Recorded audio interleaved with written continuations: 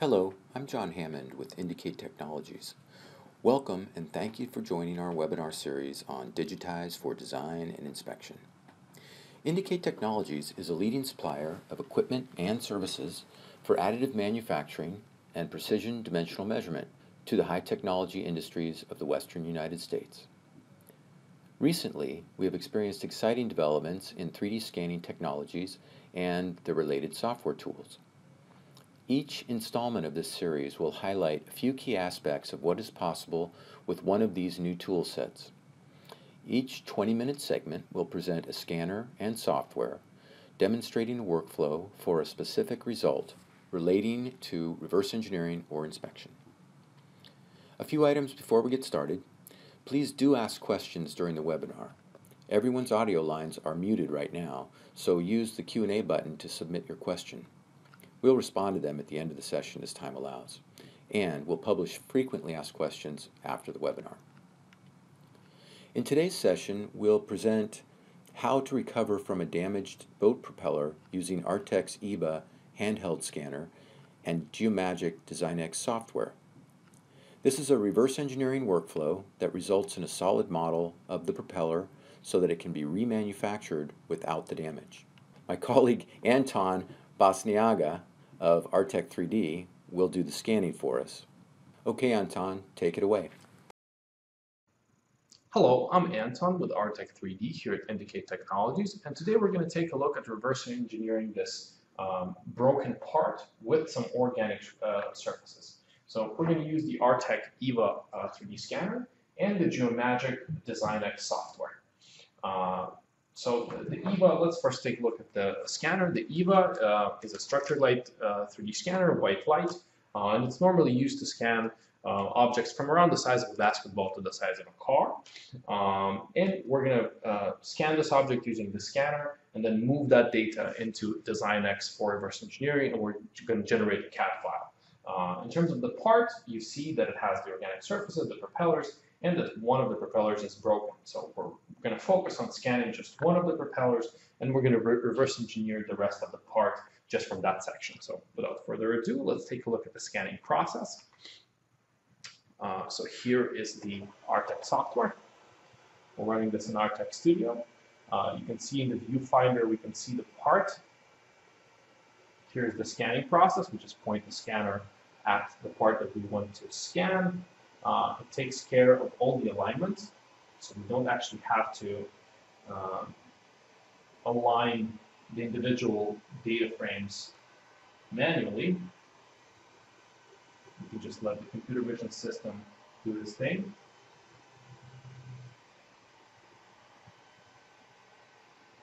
But I'm trying to get as much of the propeller as possible.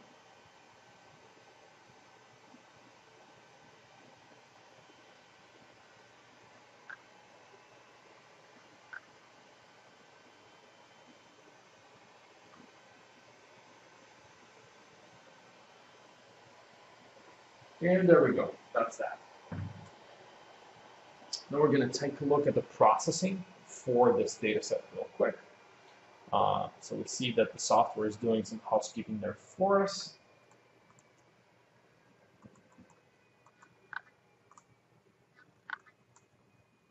So we do have a fully processed real-time file. This is the real-time fusion or the real-time meshing result uh, that Artec Studio gives us by default. And you can see it's a pretty complete file. We could just export this uh, file, but it is uh, a file generated in real time. So it's inherently lower quality than uh, the best that we can do. To get the best that we can do, uh, we need to use the software offline uh, to refine the result that we got. So here's the first step, the global registration step. It basically tightens up all the individual frames, all the individual views that we got um, into one good alignment. And here we go. Uh, now that this is complete, we can remove the table and the base. So we're going to go into our editor and use the eraser tool uh, to get rid of this data. This is so that we don't have to do this later in uh, Geomagic Design X.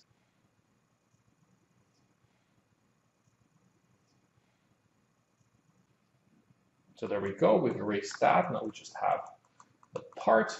Next step, uh, we're going to actually build a model out of this file. We're going to use a process called uh, Fusion for this. This is basically meshing. It will generate an actual SOLIDWORKS uh, compatible file or an STL file, an OBJ file that we can then export um, into uh, Geomagic Design X. There we go. The file is, is being built. And then as soon as this process completes, we're going to be ready uh, to hand this over to our CAD engineer to show us um, how we actually reverse engineer this part. Almost done. And there we go. We're ready for the next step. Thanks, Anton. Hello, everybody. My name is Jeff Moody. I'm an applications engineer with 3D Systems Software, and we're going to be reversing that propeller blade that Anton scanned. We're going to be using Design X, and here you can see it looks kind of like SOLIDWORKS. That's because we use the same Parasolid kernel that SOLIDWORKS uses. On the left-hand side here, it's uh, we have the feature tree and the model tree below it, and on the top we have tabs and ribbons holding all of our tools. So I'll go ahead and import the scan. Let's see, import. I'll take a quick look at it. It looks, yeah, they're they are having a hard time with that propeller. Um, but it's totally manageable. So the first thing we need to do is, oh, there's another little divot. Um, the first thing we need to do is region this part. And what region is going to do is going to take a look at, uh, it's going to do a curvature-based analysis, and it's going to try and pull geometric features out of all of this, uh, out of all of the mesh. So where a cylinder is, it'll say this is a cylinder, or it should, and this area should be a cone, uh, plane, um, probably a revolution, um, maybe a freeform, uh, things like that, and it'll do that throughout the part. Then at that point, we can do a lot of different things with the regions. So, uh, yep, so here you can see I now have a revolution. I have a revolution and a cone, uh, cylinder, cylinder, so on and so forth throughout the part. Um, but it looks like I need to I need to add these regions together. So downstream, I know I'm going to be creating a surface over this and I want to have the best surface possible and to do that I need to put all of these together. So the way that I'm going to do that is I'm going to change my selection mode to paintbrush. To select the areas that I want to add in and since there's a divot there I'm going to go ahead and skip that one and I'm just going to combine these together. So once these are combined it'll be a fairly nice surface that I'm that I like. And I'll check the backside here and also we have that same problem it looks like there's also another region there that I won't add in. So again, I'm just going to select the areas that I want to combine together. Good, and then say merge. So once these are merged, then that's a very good surface for me to work on, or to work with. So I'll, I'll go to the next, uh, next process. And that's going to be aligning. So I want to align this to the global origin because if I worked, if I start to reverse engineer in this orientation, it's going to be kind of difficult. And plus I won't get to use all the views that I have here. So to do that, I'm going to go into model and I'm going to add a vector to put the vector down the middle of this part. And I can do that with the regions that are already here and available. So I'll change my I'll change my selection method back to line. Then I'll select the regions here that I want to use to put the vector down the middle here and here. And actually, since has got a little thing here, probably not this one. Delete. Get rid of that. Then I'll change, I'll make sure my method is on revolving axis, and I'll preview that. That looks good. Looks, looks like what I'm looking for. And then I also need to add a clocking plane in here somewhere on this fin because I want this fin to be my clocking plane. So I'll go into plane, change my method to coplanar axis. This is going to be my coplanar axis, and then I just need to select the underlying mesh. I'll put a point there, and it puts a puts a plane between that point and that vector. So I'll go ahead and say OK there.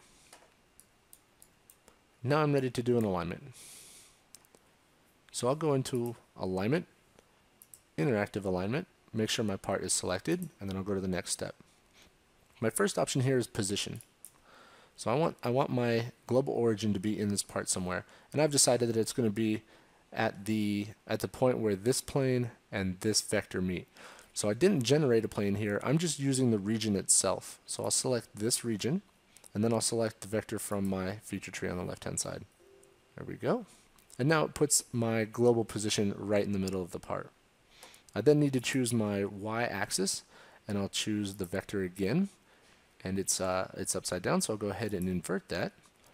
And then I need to choose either the z or the x-axis, and I need to make that my plane 1. So I'll go ahead and choose my z-axis.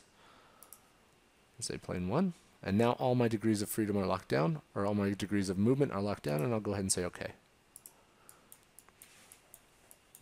I'll turn on my planes just to make sure I have a good alignment. I'll go normal to this top plane here and see that this is exactly where I want it to be. Cool. Now I can actually begin to reverse engineer. And since we have regions already assigned to this, I'll use those and use my uh, revolving wizard. And I'll just select some of these regions here. And instead of going in and creating a vector, a plane, a sketch, and a revolve, I'm just going to allow the software to do it for me based on these selections. So then I'll go to the next step. And it will give me, oh, that's not what I wanted it to do. Let's see, remove this one. I'll go to the next step. So now it's given me a vector, it's given me a plane and which it's drawn a sketch on, and then it's done the revolve. So once I say OK, you'll see it populate over here on the left-hand side. So I'll go ahead and say OK. And this is editable. So if I wanted to change this, uh, this sketch to the vector that I use for my alignment, I can do that by going in and editing mesh sketch setup. I'll remove the center axis, I'll remove vector 2 and replace it with vector 1. I'll then have to do that on my revolve by going to axis and selecting vector 1. Then I'll say OK. So now we can check our we can check our reverse engineering just by going up to the deviation analysis and basically that uh, that does a check between the mesh surface and the CAD object that we've created. So I'll set this to 1. That looks good. And we can see that we've done a pretty good job. Here there's not enough data to work with, so it's excluding that. If I turn on the mesh and I, and I turn off my solid body, I can see that there's a big hole. So there's a problem there. So now that we have this center point here, I can move on to the fins. And the way that I'm going to do this is I'm going to get the profile of this fin, extrude it to a solid body, and then I'm going to create a couple surfaces on this face and on the back face to use as cutting tools. To start, I'm going to turn on my planes. Oops, I'm not going to turn on all of them. I don't need all of them. I'm going to turn on this top plane here. Then I'm going to go to Sketch, Mesh Sketch, and select this top plane as my base plane. Oh, hold on. So I'll go to Mesh Sketch and choose this top plane. Once I have this, I can use one of our unique tools called the Silhouette tool that will take all of this data and put it back onto the base plane. So I'm going to I'm going to open up this bounding box a little bit. And you can see that it's now it's created this profile of the mesh. So I can take a look and see that I haven't gotten all the way to the bottom yet. So I'll go ahead and enlarge that. Now I have the entire profile of that fin. So I'll go ahead and say OK. I'll turn off my mesh. And then I can see that I need to apply, uh, I can see now that I have a polyline and all I need to do is apply uh, some lines and arcs or a spline. I can do this a couple of ways. I can use the auto sketch function, which allows me to do, uh, which allows which auto sketches a line, a best fit line on there for me, or I can apply them myself. So this looks a little bit wavy. So instead of doing that, I'm going to go ahead and uncheck fit polyline, and then I'll use that pink reference line. I'll use that pink polyline as a reference. Good. So I'll hit enter. Now I might need to adjust this a bit. Nah, it's right there is good. I need to add a tangency between these two splines. Add a tangency. Let me just take a quick look here. That looks pretty good. Okay, now I need to close this sketch loop. And to do that, I want this fin to be inside my center hub here. So I'm going to draw a circle from the global origin. And then I'm going to elongate this. Uh, maybe I'll shrink that down a bit. And then I'm going to elongate or resize the spline to fit that. Once, once I'm at this point, I can then go ahead and power trim away any other issues that I have to close up this loop. Perfect. Once I'm done here, I'll exit the sketch and then it'll extrude this profile all the way to the outer bounds of this fin. So all the way below here and up above the fin here. And then I'll use a, and then I'll use a mesh fit surface to cut them away. So first I'll go into model, I'll choose solid extrude, select my profile, make sure that it's above my fin, select opposite direction, make sure that it's below my fin, which it is. Make sure that it's not merging, then I'll create it. So here is my fin profile. I'll go ahead and turn off this first part here. Now, I need to apply a surface to the mesh. So I'll select mesh fit. I'll select this region here, go to the next step. If I need to adjust the UV mapping, I can here, and I'll just move this just a bit away from that divot there. And then I'll go to the next step. I'll take a look and I'll see that I want to get rid of probably this line and maybe this line down here in the this line in the middle. And maybe I want to move these just a, a bit out of bounds so that there's no issues here. So pull these back a tad and pull this one a little bit away and pull this one back too. Good. And then I'll say OK. Then we can check the fitment of this surface to the mesh by selecting our deviation analysis. We can see that we're in a really good shape. So go ahead and turn that off. I'll turn off my first mesh fit and then I'll just repeat that on the back side here. So again, I'll go to the next step, maybe play with the UV map if I need to. move this just a bit out of the way, try and get that divot right in the middle of that square there go to the next step, and then just adjust it a tad bit more. So maybe getting rid of a couple lines if I have to. Maybe moving out a couple lines if I need to as well. Okay. So that looks pretty good. Now, I'll use these two as cutting tools from my solid piece here. Oop, not that solid piece. So to start, I'm going to use this surface. I'm going to go up to cut. So my tool entity is going to be this surface. My target body is going to be this solid body. Going to the next step, and I'll choose what I want to remain. And then I repeat that process on Mesh Fit 2. Again, I'll go up to cut. My tool body is going to be the surface. My target body is going to be the solid body. Then I'll go to the next step here. My remaining piece is going to be the fin, and I'll say OK. I'll turn this off, turn on my other solid body and here you have a 3D uh, a 3D feature from the mesh. Then it's just a matter of repeating this body here, and I'll go over to patterns, select my body. On the rotation piece, I'll select vector 1, or uh, rotation axis, I'll select vector 1. Have it set to 3, that's what I'm looking for, and I'll say OK. Cool. So now I have now I have four different pieces here. I'm going to go ahead and combine them together. I'll go up to Boolean and I'll select merge. Now I have one piece and I'm well on my way to reverse engineering this entire piece. Um, and with that, I'll go ahead and back, hand it back to you guys. Thank you very much. This concludes the webinar in handheld scanning and reverse engineering, how to recover from a damaged boat propeller using Artec 3D EVA and Geomagic Design X. Please join us for the rest of the segments in our series, Digitize for Design and Inspection. And remember, with Indicate Technologies, when producing high quality parts at the lowest possible cost is your mission, making solutions easy to deploy, manage, and scale is ours.